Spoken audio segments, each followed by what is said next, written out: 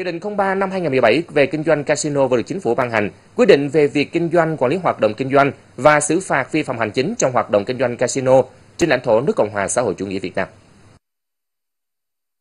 Nghị định quy định rõ kinh doanh casino là hoạt động kinh doanh có điều kiện, chịu sự kiểm soát chặt chẽ của cơ quan quản lý nhà nước có thẩm quyền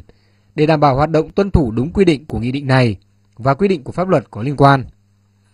Chỉ những doanh nghiệp được cấp giấy chứng nhận đủ điều kiện kinh doanh casino mới được kinh doanh casino. Kinh doanh casino phải gắn với hoạt động kinh doanh chính của doanh nghiệp nhằm thúc đẩy phát triển về du lịch, thương mại, đa dạng hóa hình thức vui chơi giải trí, làm phong phú đời sống tinh thần và thu hút khách du lịch. Phải đảm bảo an ninh quốc phòng, trật tự và an toàn xã hội, đạo đức xã hội, sức khỏe cộng đồng. Việc tổ chức tham gia các trò chơi có thưởng phải đảm bảo minh bạch, khách quan, trung thực, bảo vệ quyền và lợi ích hợp pháp của các bên tham gia. Tình trạng ATM nghẽn mạng, hỏng hóc cứ đến dịp Tết Nguyên đán lại tái diễn khi nhu cầu tiền mặt tăng đột biến gấp 2 đến 3 lần so với ngày thường. Dù ngân hàng nhà nước liên tục yêu cầu các ngân hàng thương mại phải đảm bảo nhu cầu tiền mặt của người dân.